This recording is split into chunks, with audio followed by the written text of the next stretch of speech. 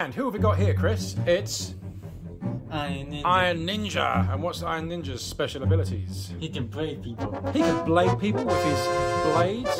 And what he do? He spins around, doesn't he? So let's have a look and see him in action.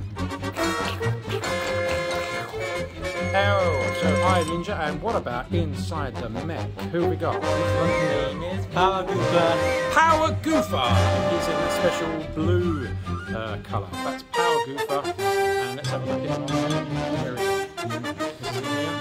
Power Goofer. He's kind of like a, like a waffle.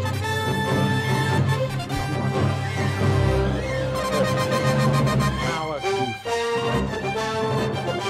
Five, five three seven. Orange Amazing. Another one to add to our collection. We've got to catch them oh.